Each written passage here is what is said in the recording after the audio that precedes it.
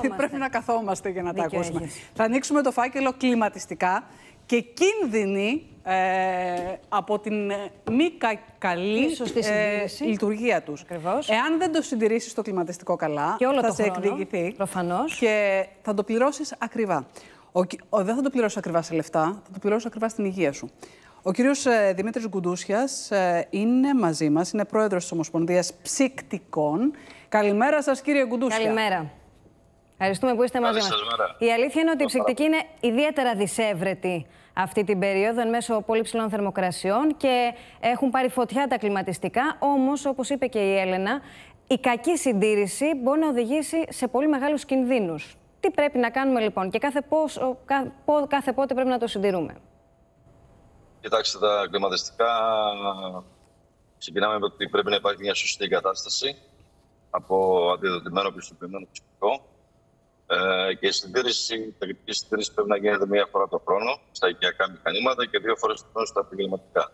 Στο, σπίτι, στο σπίτι μπορώ να την κάνω τη συντήρηση και μόνη μου. Γιατί λένε κάποιοι άντρες που πιάνουν γίνεται, τα χέρια γίνεται, της. Το κάνω τώρα, παιδάκι μου, θα, θα βγάλω εγώ το φίλτρο, θα το κλείνω, θα το καθαρίσω, θα το βάλω στη θέση του έτοιμο. Και δει τώρα που είναι δυσέβρετη η ψυκτική. Και το ραντεβού είναι 10 γίνεται, μέρες μετά. Γίνεται έτσι όμως, κύριε Γκουντούσια. Αυτό το φίλτρο πρέπει να καθαρίζεται μία φορά το μήνα. Μία φορά το Ε, μήνα; μπορεί να κάτι, κάτι απλό, κάτι πολύ σημαντικό όμως, το οποίο το δείχνουν πάντα οι τεχνικοί στους ιδιοκτήτες των μηχανημάτων για να το καθαρίζουν. Ναι. Γιατί μαζεύει σκόνη, καυσαέρια κτλ. Και η συντήρηση που πρέπει να γίνεται από το πιστοποιημένο ψυκτικό ε, με πιστοποιημένα χημικά υγρά πρέπει να γίνεται μία φορά το χρόνο. Συγγνώμη, μία Ένας φορά το καλός μήνα πρέπει να σωστός βγάζω το φίλτρο και να το πλένω. Σωστά. Και αυτό Σωστά. ποιος το- Μια εγώ φορά θα το το κάνουμε μήνα, και μόνοι μας, δηλαδή όπως το αυτό; δουλεύει καθημερινά. Είναι κάτι πολύ απλό, Πολύ το απλό. οποίο πάντα οι τεχνικοί το δείχνουν στους ανθρώπους που κάνουν τις εγκαταστάσεις στα σπίτια. Αυτό μπορούμε να το Είναι κάνουμε κάτι λοιπόν απλό μόνοι μας. Όταν χρειάζεται όμως την ετήσια συντήρηση, πρέπει να φέρουμε τον ειδικό. Πόσο κοστίζει ο Σωστά. ειδικός και τι συμβαίνει αν δεν την κάνω τη συντήρηση, ποιους κινδύνους εγκυμονεί; Κοιτάξτε, μια συντήρηση σε κλιματιστικά οικιακού τύπου κοστίζει από 30 έως 50 ευρώ ανάλογα το μηχάνημα και την κατάσταση που είναι. Ναι. Ε, τα επαγγελματικά μηχανήματα βέβαια έχουν άλλα κοστολόγια γιατί εκεί είναι άλλε Στα μεγάλε οικιακά λέμε μονάδε. τώρα, οι- τα επαγγελματικά είναι άλλο παπά Ευαγγέλιο. Σωστά. Ε, από εκεί και πέρα η συντήρηση είναι σημαντική πρώτον για λόγους υγείας των ανθρώπων που βρίσκονται στον χώρο.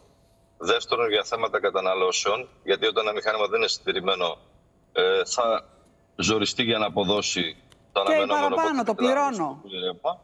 Ακριβώς. Και όπου ξαναεπανέρχομαι πάντα ότι για λόγους υγείας πρέπει να γίνεται συντήρηση, αλλά πρέπει πάντα να απευθύνονται Ποια- οι καταναλωτές σε ψυχικούς και όχι σε οποιονδήποτε Ναι, και Έχει υπάρχει και μια μια κάρτα ανεξέλεγκτη ε, πώληση φθοριούχων αερίων. Να σας ρωτήσουμε μόνο ποια είναι τα σημάδια ότι το, το κλιματιστικό δεν λειτουργεί σωστά. Αρχίζει δηλαδή, και βύχει. και πότε να αισθανθούμε ότι χρειάζεται επιδιόρθωση. Ποιε, και ποιες είναι βέβαια οι κύριες αιτίες βλαβών; Ε, καταρχήν φαίνεται ότι ένα μηχάνημα δεν λειτουργεί σωστά. Πρώτον από τη μειωμένη απόδοση.